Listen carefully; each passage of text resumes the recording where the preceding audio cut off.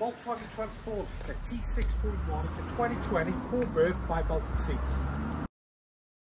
So inside the VW, we have the table, we have the sink, we have the two burner hob, we even have a microwave and also a little compressor fridge. And above, we have a sleeping area, comfortably for two people.